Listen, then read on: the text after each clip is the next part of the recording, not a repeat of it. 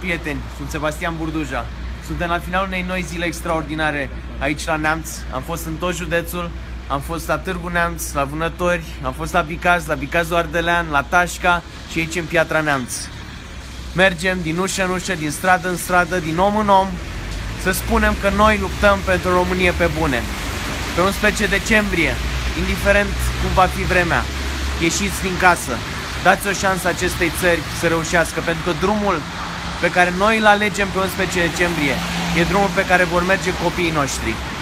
Sunt Sebastian Burduja, candidez ca independent la Camera Deputaților, pe ultima poziție pe buletinul de vot, iar la Senat colegul meu Andrei Carabelea, tot pe ultima poziție. Împreună vom face România pe bune.